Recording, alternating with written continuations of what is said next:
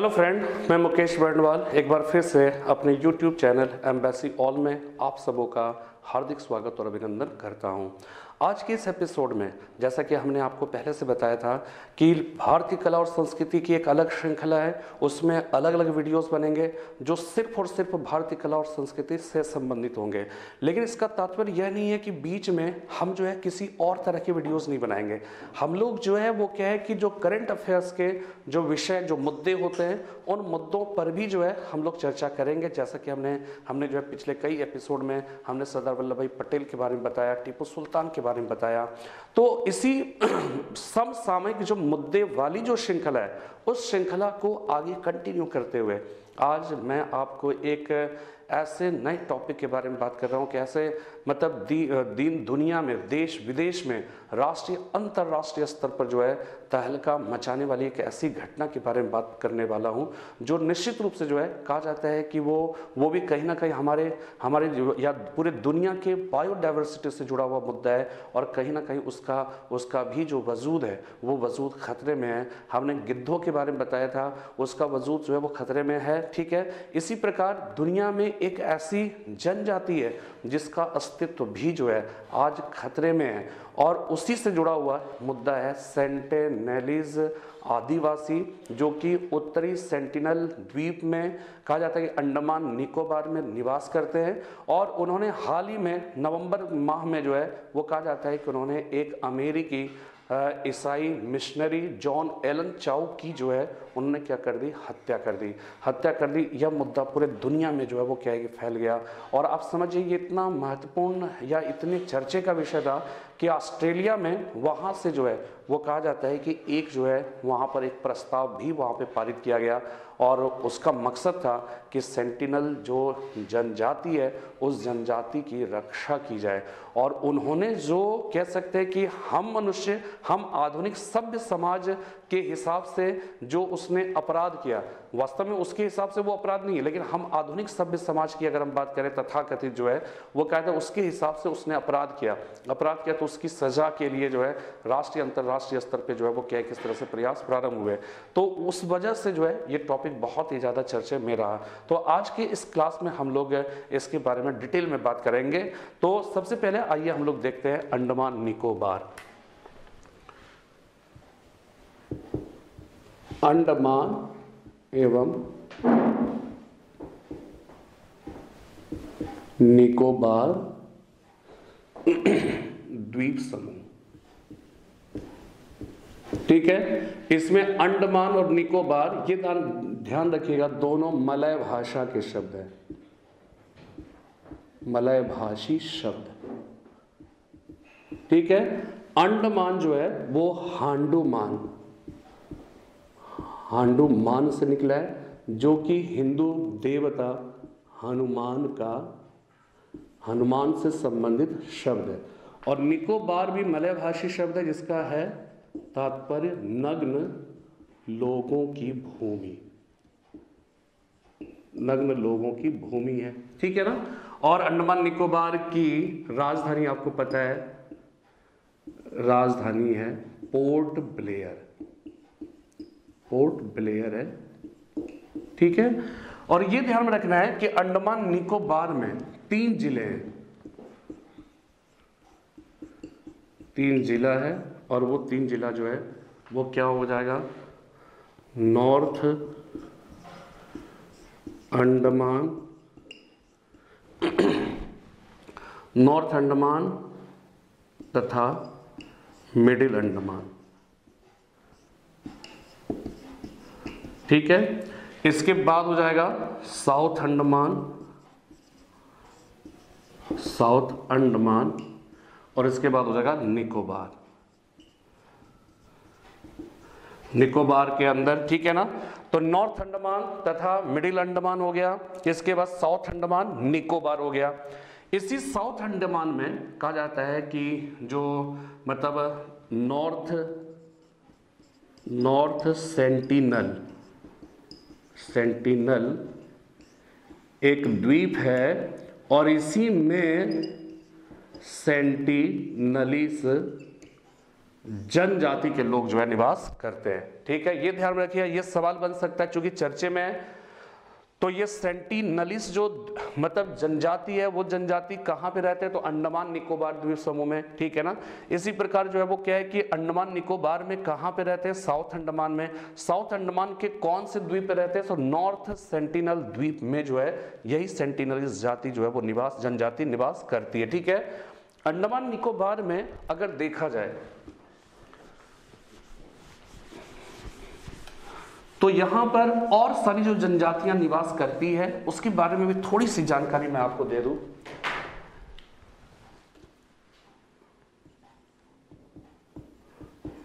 अंडमान व निकोबार की जनजातियाँ। ठीक है शॉर्ट में मैं बता दे रहा हूँ ताकि आपको बैकग्राउंड समझ में आए, ठीक है? एक तो हो जाएगा निग्रेटो मूल के, जिसको अफ्रीकी मूल का कह सकते हैं, और दूसरा है मंगोलियन। मंगोलियन मूल के। ठीक है? निग्रेटो मूल की चार जनजातियाँ हैं, अंडमानी, ठीक है, इसके बाद ओंगे ओंगे, इसके बाद इसके बाद हो जाएगा जारवा, और इसके बाद सेंटीनलीस। सेंटीनलीस, ठीक है? और मंगोलियन मूल के जो दो जनजाति हो जाएगी सोमपेन सोमपेन और दूसरा हो जाएगा निकोबारिस निकोबारिस ठीक है, अंडमान व निकोबार हो गया। जनजातियाँ इसमें जो है, ध्यान रखिएगा निग्रेटो मूल के, मंगोलियन मूल के। ये निग्रेटो मूल के होंगे, इनका रंग जो है वो क्या होगा? काला होगा। ठीक है? और इनका जो रंग है, वो रंग होगा गोरा। ठीक है? जारवा जो है, वो क्या है कि यहाँ पर ये हो गया अंडमानी। ये दोनों जो है ज़्यादा विकसित, अपेक्षा के ज़्यादा विकसित। अपेक्षाकृत विकसित। ठीक है, यहाँ पर जो है, लेकिन सेंटिनलिस या जारवा ओंगे अंडमानी, ये सब जो है धीरे धीरे क्या है, लुप्त होने के कगार पे पहुँच रहे हैं। ठीक है? ये आप समझ जाइए, ये अफ्रीकन मूल के थे और लगभग साठ हज़ार साल पहले जो है, उनका क्या हुआ कि वहाँ से विस्थापन हुआ और विस्थापन के पश्चात जो है, ये लोग जो है वो कहाँ पे पहुँच गए? अंडमान निकोबार में।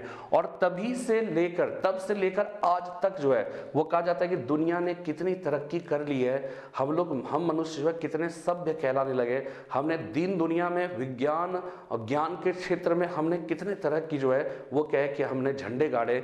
ज़ाहिर सी बात है, लेकिन ये जो है वो क्या है कि ये उन सभ्यों से बेखबर है, उनको उससे कोई वास्ता नहीं है, उनकी अपनी दुनिया है, अपना समाज है, अपनी सांस्कृतिक जो है वो परिवेश है, अपने हिसाब से उनका अपना जीवन यापन। आज भी ये कह सकते हैं इस उपग्रह युग में ये पाषाण युगीन जीवन जो है वो कह कि जी रहे हैं। शिकार पर इनका जो है वो ज़्यादा जीवन जो है निर्भर करता है, कंद, मूल, फल, फूल इत्यादि के आधार पर। कहा जाता है कि ये सेंटिनलिस जो जनजाति है, ये सेंटिनल सेंटिनलिस जनजाति के लोगों ने उत्तरी कह सकते हैं कि जब सेंटिनल द्वीप पर अमेरिकी जो चर्च मतलब जो है वो क्या है कि अमेरिकी जो है ईसाई मिशनरी जॉन एलन चाऊ ने जब सेंटिनलिस द्वीप में जाकर जब उसने जो है वो क्या है कि वहाँ पर ईसाई धर्म के प्रचार प्रसार की जब कोशिश प्रारंभ की जब उन्होंने सेंटिनलिस से जो है उन्होंने क्या है कि संपर्क करने की कोशिश की कहा जाता है कि सेंटिनलिस ने उसकी जो है वो क्या है कि हत्या कर दी अपने तीर और धनुष से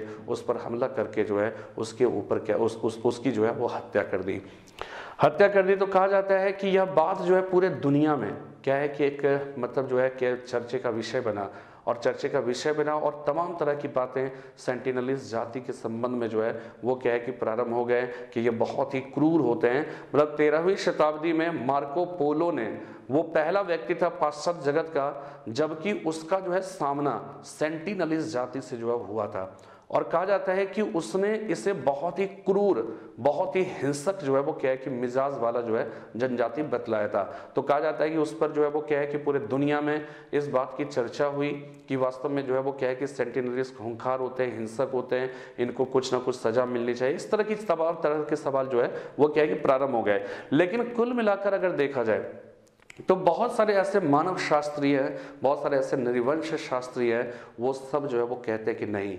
वास्तव में हिंसक जो है वो क्या है कि उनकी प्रवृत्ति जो है वो वास्तव में स्वभाव से हिंसक नहीं है। कुछ ना कुछ ऐसे सर्कमस्टांसेस हैं जिसकी वजह से वो क्या है कि वो हिंसक हुए, ठीक है? हिंसक हो जाते हैं। और इसका कारण जो है वो क्या है कि उसको सबसे पहले हम लोग जो है बात करें जॉन एलन चाओ के बारे में कि जॉन एलन चाओ के जो पिता थे, वो पिता ये कहा जाता है कि पहले पहले जो है वो मतलब जो है चाइना में रहते थे और चीनी सांस्कृतिक जब वहाँ पे एक क्रांति हुई, उसके पश्चात वो भागकर जो है वहाँ से अमेरिका चले गए। वहाँ पे ईसाई धर्म को अपना लिया, ईसाई मिशनरियों से जुड़ गए। उन्हीं का पुत्र है जॉन एलन चाउ। और वो कहा जाता है कि इस द्वीप में आकर जीसस का साम्राज्य स्थापित करना चाहता था। जबकि वास्तव में जो है वो क्या है कि वो एक तरह से वहाँ से झूठ बोल कर आया। वहाँ पे जो है वो पर्यटक वीज़ा पे आया था। जबकि मिशनरी वीज़ा उसके लिए बनना चाहिए था, क्योंकि वो ईसाई धर्म के प्रचार प्रसार के लिए आ रहा था। तो कहा जाता है कि वो झूठ बोला और यहाँ के जो है बहुत सारे सुरक्षा अधिकारी या फिर जो है बहुत सारी जो मतलब कह सकते हैं कि सुरक्षा के जो तंत्र थे, उस तंत्र को नुकसान पहुंचाते हुए या तंत्र को जो है धत्ता बताते हुए वो वहाँ पर किसी तरह से गया और वहाँ पर वो पकड़ लिए गए पकड़ लिया गया, उसको जो है वो क्या है कि मौत के घाट उतार दिया गया। तो कहा जाता है कि कि अब यहाँ पे जो है सवाल ये पैदा होता है कि सेंटिनलीज जो है, वो वास्तव में क्या हिंसक हैं? ठीक है ना? और अगर हिंसक हैं तो उसके कारण भी कुछ ना कुछ तो होंगे ना। क्यों हिंसक हैं?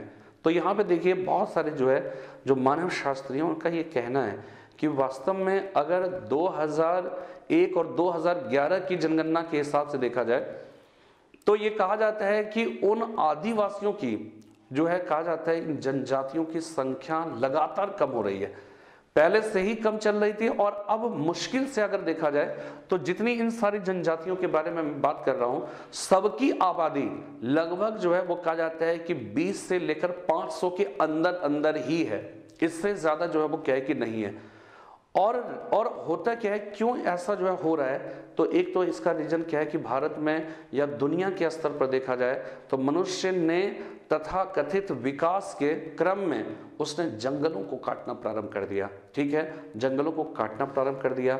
इसी प्रकार जो है, बहुत सारे लोगों ने उससे संपर्क करने की कोशिश की। अगर हम सेंटिनलिस की बात करें तो कहा जाता है कि सबसे पहले 1700 उसके पहले जो है मार्कोपोलो की बात बात बताई थी, लेकिन अंग्रेज़ों के आगमन के बाद कहा जाता है, और भारत की आज़ादी के बाद बहुत सारे प्रयास किए गए इन सारे जनजातियों से संपर्क करने के लिए। तो कहा जाता है कि सेवनटीन हंड्रेड में इसके जो प्रयास है, उस प्रयास को भी अगर आप देखिए।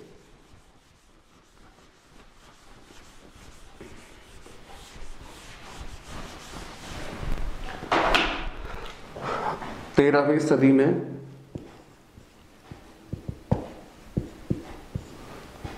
Marco Polo.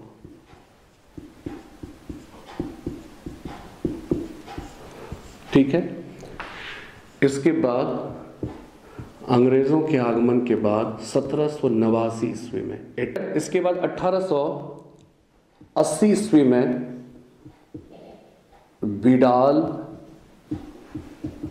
पोर्टमैन। मैं अभी इसके बारे में डिटेल में बताऊँगा। विडाल पोर्टमैन, ठीक है?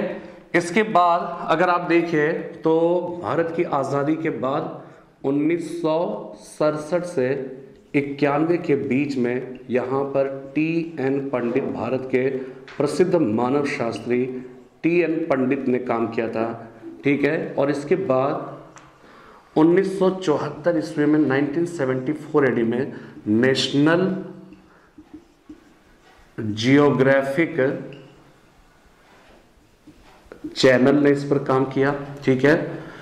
काम किया था, इसके बाद क्या हुआ अभी मैं बता रहा हूँ। इसके बाद उन्नीस सौ इक्यानवे ईस्वी में 1991 में मधुमाला मधुमाला चट्टोपाध्याय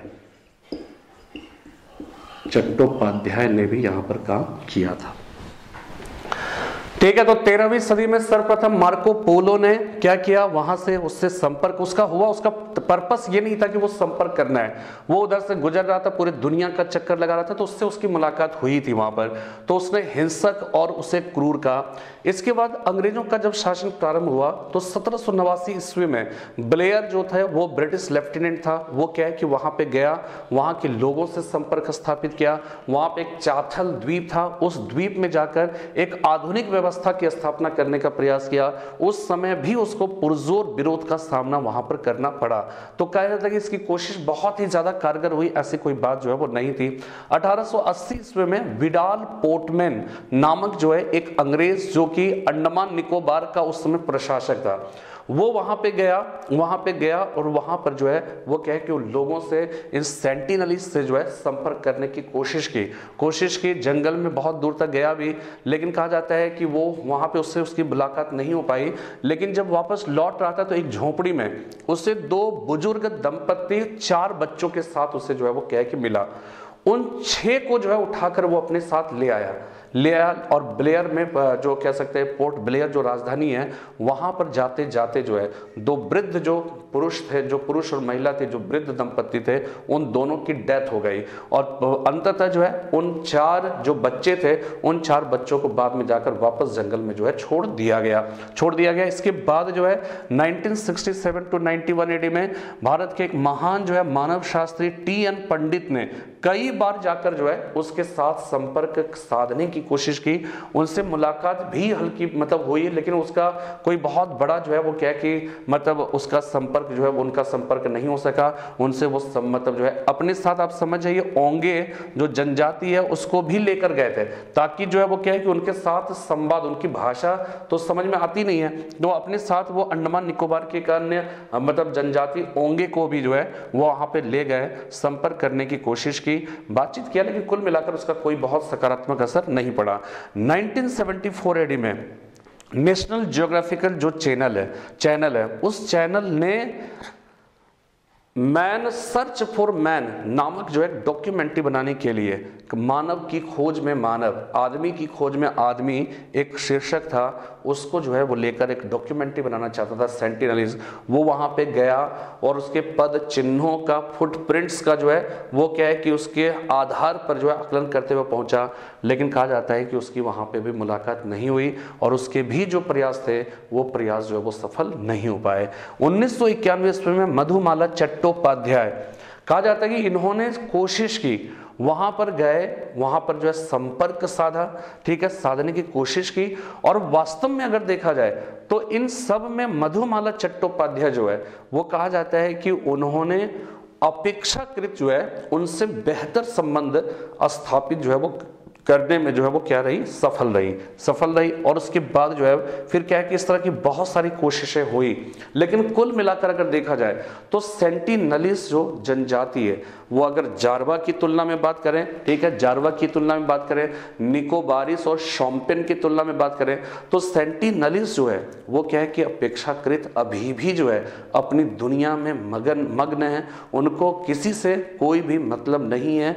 उनकी अपनी व्यवस्था है, अपने हिसाब से उनको जीवन यापन जो है वो क्या है कि करना है। इसके बाद अगर आप देखें तो ये कहा जाता है कि सेंटिनलिस्ट जो है वो अपने हिसाब से जीवन यापन करते हैं। और जॉन एलन चाउ जो है वहाँ पर गया और वो जो है वो कहे कि इस तरह से उनकी कहीं ना कहीं उनकी जो अपनी शांति थी उनकी अपनी व्यवस्था थी उन लोगों ने इसमें उसे खलल के तौर पे देखा और उन्हें लगा कि ये मेरा दुश्मन है ये हम पर अटैक करने आना आ, आ, आ, आया है। और उसे ये लगा होगा और उसने उस पर हमला किया और उसे मौत की घाट जो है वो क्या है कि उतार दिया।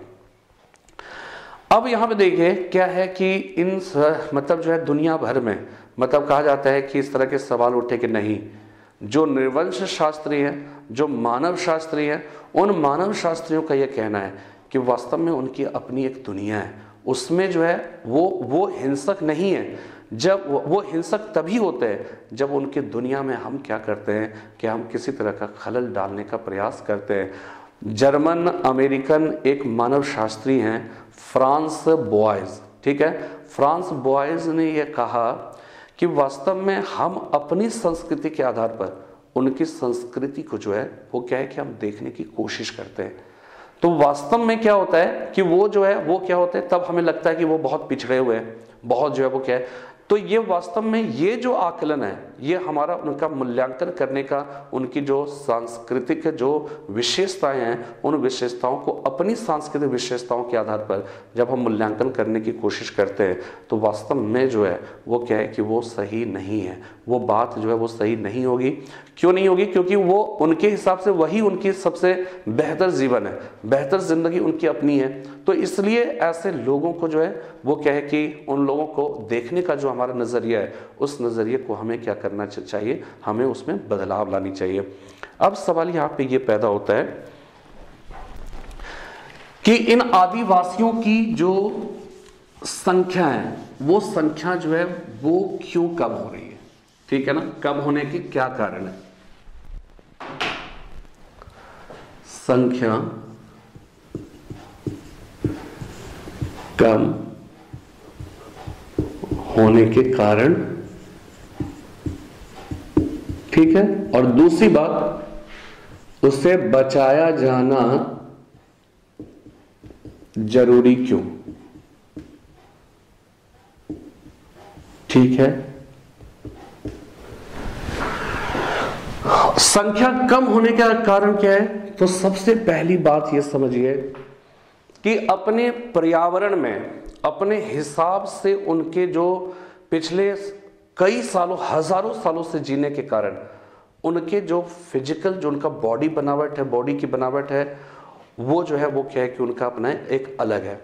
तो जैसे ही वो क्या होते हैं कि हम जैसे आधुनिक मानव से जब संपर्क में आते हैं तो वो क्या होता है कि उस संपर्क से उनमें बीमारियों के फैलने की पूरी संभावना हो जाती है। क्योंकि हम लोग जो है वो एंटीबायोटिक्स और इस तरह से रहकर अभ्यस्त हो चुके हैं इस वातावरण में, जिसमें जीवाणु और और जो है विषाणु का इतना प्रकोप रहता है आसपास की परिस्थितियों में कि हम लोग उसके बीच में रह, रहकर हम सब क्या हो चुके हैं, बहुत हद तक अभ्यस्त हो चुके हैं। ठीक है, उसका नुकसान होता है, लेकिन वो उसका अभ्यस्त नहीं है। नहीं है तो उसकी वजह से क्या होता है, जब उनको हम समाज की मुख्य धारा में शामिल करने की कोशिश करते हैं तो वो क्या होता है कि वो उनमें तुरंत जो है संक्रामक बीमारियों के फैलने की संभावना फैल जा मतलब बढ़ जाती है और और और इसका मिसाल आप इस रूप में देख सकते हैं कि जारवा जो जनजाति है, उस जारवा जनजाति को क्या हुआ कि धीरे धीरे धीरे धीरे जो है वो क्या है कि आधुनिक मानव के संपर्क में लाने की कोशिश हुई।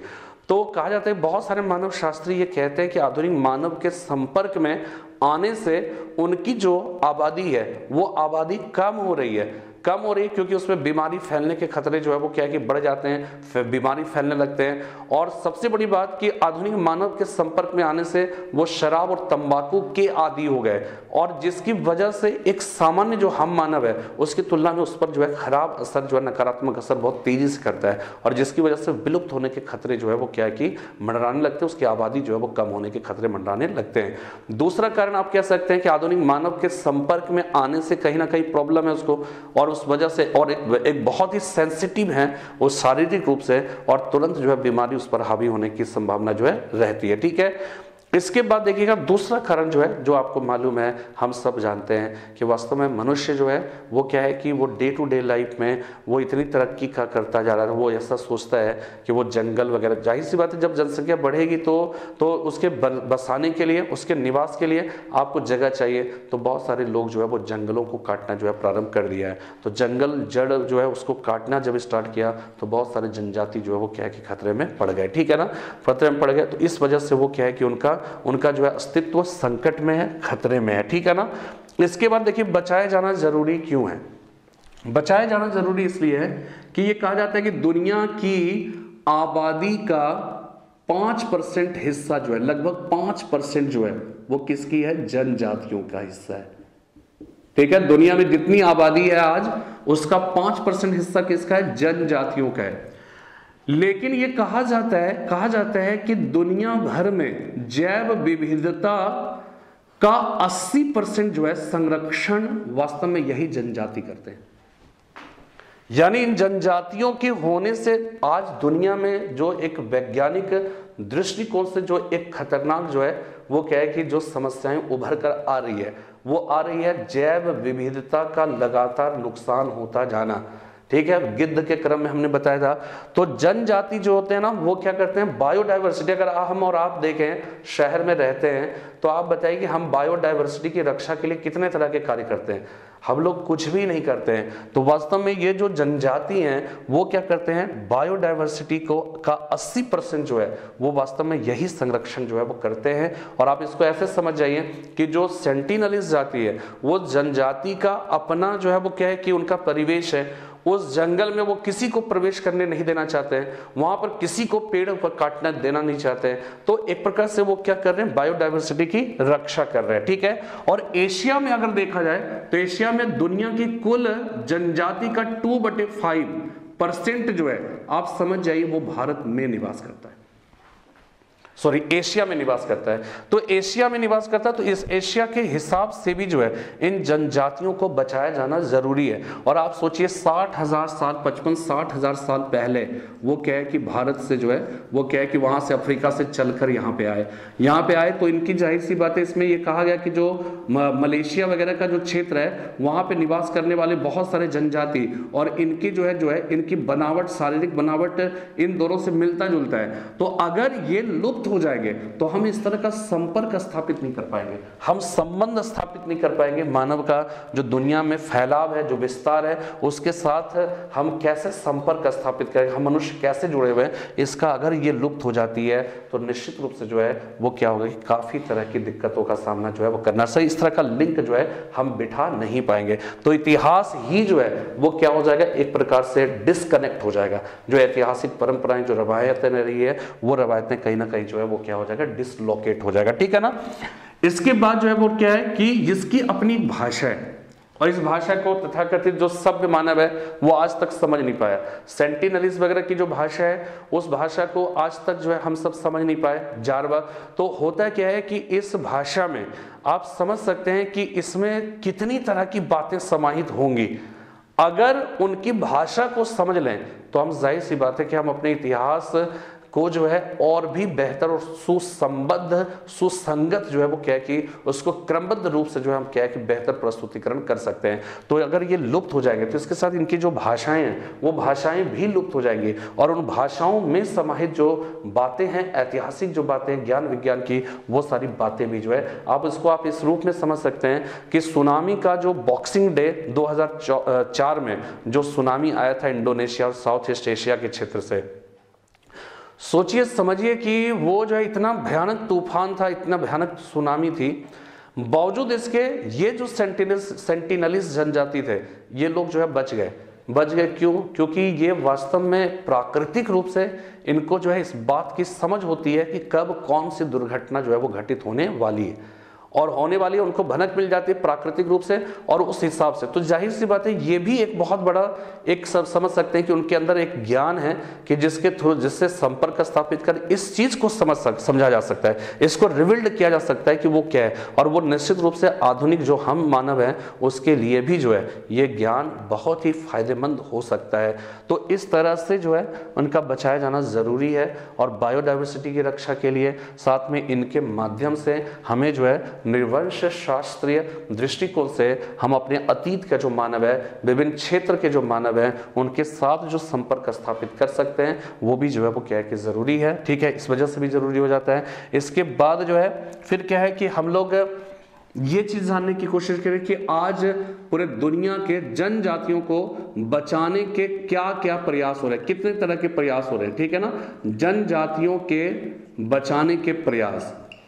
तो ये ध्यान में रखिएगा, मोटे तौर पे दो तरह के प्रयास हो रहे हैं। ठीक है ना? एक प्रयास ये हो रहा है कि दो, पहला प्रयास हो जाएगा, दूसरा प्रयास हो जाएगा। पहला प्रयास ये है कि इन जनजातियों को समाज की मुख्य धारा में शामिल किया जाए। इनको जो है, जो समाज की मुख्य धारा है उनको वहाँ पे उनके साथ मतलब जो है, उनका एक इंट्रैक्शन किया जाए, उनको उसमें घुलने मिलने के लिए का अवसर दिया जाए तो वो धीरे धीरे जो है, वो क्या हो जाएँगे घुल मिल जाएँगे। उसके बाद जो है, फिर क्या होगा कि उनका जो वजूद है, वो वजूद को बचाए रखने में जो है, वो क्या है कि महत्वपूर्ण। और दूसरा तरीका ये है, दूसरा तरीका ये है कि उनका जो प्राकृतिक आवास है, प्राकृतिक जो पर्यावास है, उसको संरक्षित करना। जैसे अंडमान, जैसे कि जारवा जारवा जो जनजाति है, उसके संरक्षण के लिए उसका जो एरिया है, उसके पाँच किलोमीटर के आसपास का जो एरिया है, वो जारवा संरक्षित क्षेत्र जो है, वो क्या है कि घोषित कर दिया गया है। तो वहाँ पर सामान्य तौर पे जो है, वो क्या है कि आप जा सकते बट वहाँ पे फ़ोटो नहीं खींच सकते या या जो है वो क्या है, और उसमें अंडमान रोड जो है ट्रांसपोर्ट अंडमान जो है रोड ट्रांसपोर्ट जो है रोड का निर्माण किया गया, ठीक है ना?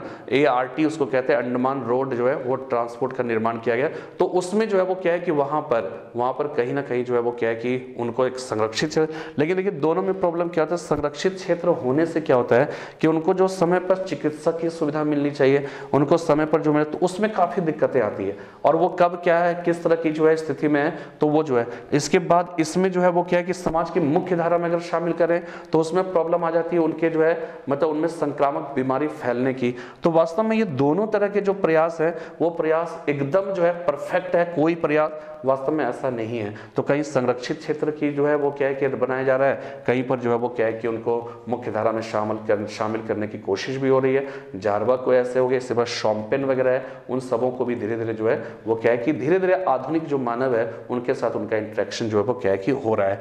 तो इस तरह से जो है वो कहा जाता है कि अगर अगर हम वास्तव में जो है देखा जाए अगर हम सब देखें, हम सब गौर करें तो सेंटिनलीज के साथ जो है वो कहा जाता है कि उसके उसके वजूद को बचाए रखने का खतरा है। और उसे अपने वजूद को बचाए रखने के लिए जितनी तरह की के जो है संघर्ष करने पड़ सकते हैं, वो वो कर रहे हैं, ठीक है ना? और ऐसी ऐसी परिस्थिति में जब कोई मानव जाकर उसके इस जो है, वो क्या है कि एक शांतिपूर्ण जीवन में जब वो कोई खलल पहुँचाने की कोशिश होती है, उन्हें जो है, चूँकि अपने वजूद के मिटने का खतरा हमेशा सताए रख, सताए सताए रहता है, और दूसरी बात की जिस तरह से हम मनुष्यों ने जंगलों को काटा, हम अपनी आबादी बसाने के लिए, उन्हें इस बात का इल्म होगा कहीं ना कहीं या किसी भी रूप में तो उन्हें ये लगता है कि ये आधुनिक मानव जो है, वो अगर हमारी तरफ़ आ रहा है तो हमें जानने की बजाय वो वास्तव में हमारा विनाश करने आ रहे हैं और हमारे जो है, जो हमारी प्राकृतिक आवास है, उसको वो नष्ट करने आ रहे हैं और इससे क्या है कि इसी वजह से वो हिंसक हो जाते हैं और हमला कर देते हैं और फिर जाके जो है, इस तरह की घटनाएँ घटित होती रहती है। तो यहाँ पे जॉन एलन चाऊ ने वो गलत किया, भारत के जो है, वो कानून के हिसाब से। दूसरी बात, वो गलत जगह पे जाकर जीसस का प्रचार प्रसार कर रहे थे, ठीक है ना? तीसरी जो इंपॉर्टेंट बात है, वो तीसरी इंपॉर्टेंट बात ये है कि उनको ये भी समझना चाहिए कि मतलब ऐसे भी सवाल उठ रहे हैं कि कि जो है उनकी जॉन एलन चाओ की डेथ तो हो गई, लेकिन जॉन एलन चाऊ के वहाँ से, वहाँ पे जाने से, जो उसके माध्यम से जो इधर के जो विषाणु, जीवाणु हैं, उससे भी उसका वजूद खतरे में पड़ सकता है। ठीक है ना? तो इस तरह की जो कोशिश तो वो एक हाई सेंसिटिव इलाका माना जाता है और उसकी रक्षा, उसकी सुरक्षा करना जो है, पूरे दुनिया के लोगों के लिए जो है मतलब कह सकते हैं, ज़रूरी है और और उसके हिंसक मिजाज को जो है, उसको कटघरे में खड़े करने के बजाय हम लोग इस बात को समझने की कोशिश करें कि अगर वो हिंसक हैं तो क्यों हैं और उसके लिए हम मनुष्य किस हद तक जिम्मेदार हैं। तो उम्मीद करता हूँ कि सेंटिनरीज की जो ये बातें हैं और जो जॉन एलन चाओ की बातें हैं, अंडमान निकोबार के बारे में हमने आपको थोड़ी सी संक्षिप्त जानकारी दी, ये सारे ज्ञान आपके लिए जो है, वो कहता है आपको आपको जो है, आपको अच्छा लगेगा अच्छा लगा होगा। और इसी उम्मीद के साथ कि मैं फिर नेक्स्ट जो है वीडियो में फिर एक एक नए एपिसोड के साथ आऊँगा। इसी उम्मीद के साथ मैं मुकेश बर्णवाल आपसे विदा लेता हूँ। जय हिंद, जय भारत।